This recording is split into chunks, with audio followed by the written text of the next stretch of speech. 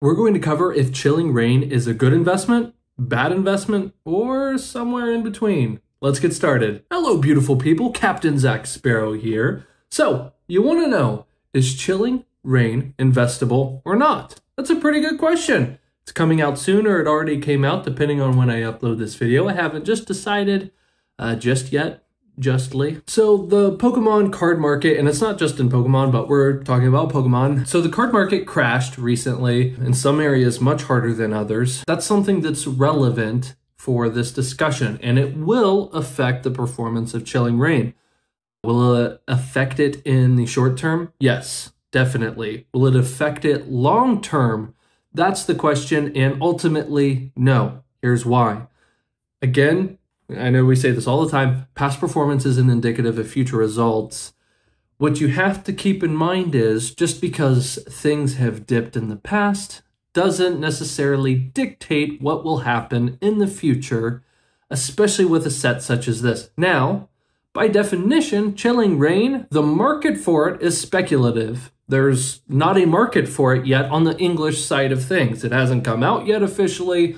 So all of these numbers, they're artificial. It's key, guys. I'm telling you, every time you look at a new set, or any set for that matter, you have to ask yourself, what is the organic, the organic demand of that product, of that set, series, card, whatever it is? What is the organic demand of that? And I'm not talking about speculation. What is the speculation? What is the current artificial market for these cards for this set? What is the organic demand? How many people are talking about it? How many people are making excited YouTube videos about it, wondering what the price is going to be on it? And then one thing to kind of implement would be trust your gut. Are you excited about this set? Were you personally, be honest, were you personally jazzed about battle styles?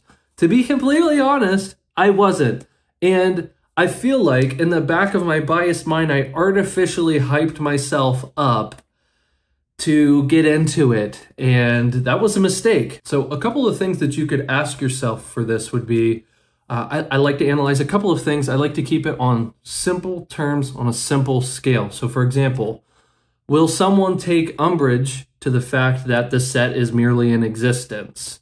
Will someone be a quiver with excitement knowing that these cards haven't been done before in this way? They really like this set. For example, if I'm not wrong, it, please correct me if I'm wrong. I believe there are 38 full art slash alternate arts in the normal version of the set on the English side.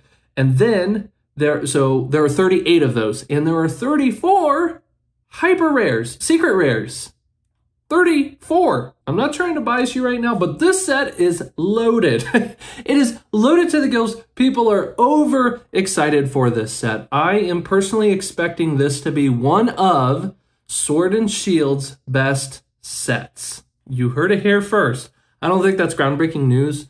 That's something to keep in mind for a particular set. Now, something that everyone is going to say, but yes, is this going to be printed to the moon or this definitely is going to be printed to the moon? Every new set that we're going to have from here on out until pokemon printing really gets ramped up is in risk of that. And i think that these the current modern sets like most of sword and shield is in that danger slash overprinting stage. That does not mean that this particular set will not hold value though Look at any past set that was overprinted. Evolutions. I know I'm going to get someone's jimmies in a tussle, but I had to say it. So just ask yourself is this set being, if the set is printed to the moon, if this set is overprinted, will the value not rise? It could definitely stifle growth. It could definitely stunt the growth. I'm sorry, my nose is so itchy. Yes, the growth could be stunted. Definitely. It, it can definitely be stunted but that doesn't make it a bad investment long term. For example, you might say, oh, well, four years from now, I could get a better investment having my money parked on something else. You totally could. But 10 years from now, if you compare Chilling Reign to, let's say, Battle Styles, in the next few years, let's just say four years from now, Battle Styles performs a little bit better just because the demand for Chilling Reign was so sky high. The Pokemon Company printed more Chilling Reign than they did battle styles objectively. They literally printed more. Not saying that will happen or should happen, or I think it's probable that that will happen. I have no idea. But what I do know is even if they print Chilling Reign more, because quite frankly, it's it's just a better set. it doesn't matter how much it's printed. Again, demand will dictate what the price will be on these items moving forward. It doesn't matter how much they print unless they continually reprint this product for years. Literally years, five years, seven years from now. Statistically, the Pokemon Company has not done that. I wouldn't expect that moving forward, meaning this is going to be a fantastic investment. Boom! Got the stamp of approval for me. Everyone is so afraid to put out their opinion out there and say, you know what? This set's gonna do great. I'm gonna stick my neck out there. If I'm wrong, I'm wrong. But I feel really strong. I'm very bullish on this set. And I've been getting some comments lately on Discord and on YouTube now of people saying, hey, bud, there are so many other people. How many other people do you think are hoarding product just like you are? You're not the only one to be thinking of this idea. Of course, I'm not the only one thinking of this idea, but that doesn't make it a bad idea. Just because someone else knows that you can make money in the stock market doesn't mean that I should invest in the stock market because I'll be, I'll have a, a less return on my investment because someone else is doing that. Here's another way I like to look at it. Every set that's out right now, every vintage set, every old set, every classic set, every single set was brand new at some point. You don't think any set before now, people at one point thought, hmm, you know what? It might actually be good if I hold on to a couple ETBs or a case or a few cases or a pallet of cases, whatever that number is. You don't think at any point people were thinking that? Well, no, they weren't thinking that to the degree that they're thinking that today.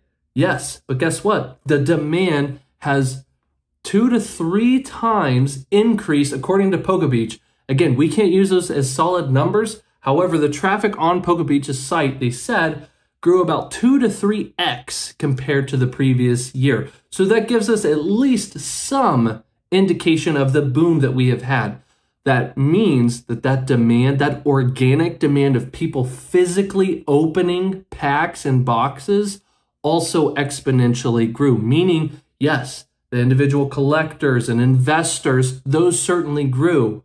However, so did the demand in people opening them as well. So I don't I don't put any weight in the fact that hey, there are more people holding sealed product now than ever. That doesn't matter. That's totally irrelevant. What do I know? I'm a washed up broker though. Just because something is ubiquitous, like Chilling Reign will probably be, does not mean that it's a bad investment by nature, by definition. In fact, that's the antithesis of a healthy market, a healthy investment. But what do I know? I'm telling you right now, you I, I don't want to come across rude on this people think way, way too small when it comes to these numbers. You don't understand the buying power that people have. Example, I think so, a lot of you have probably heard of it, and if not, you're hearing it now. There was a kid on Twitter who bought, I think it was like 700 Shining Fates ETBs. Looked like he was a teenager, early 20s. I'm just saying that is one person. Do you know how many LGSs he would have bought out? That is one human being. One. One kid. Could you imagine what a couple of millionaires could do? I am just saying you don't understand the buying power that people have. Don't even worry about overprinting. Yes, it is an issue in the short term. Long term, if you're going to be investing in this products, don't worry about it. So here's a fun question for you. What is the card you are most looking forward to in Chilling Reign? I'm going to be a sucker. I'm going to say, I think it's the Gold Shiny Snorlax. I think that card's a stud. But let me know what you think. Most importantly, subscribe and hit the notification bell so you're notified of future videos just like this one. And until next time.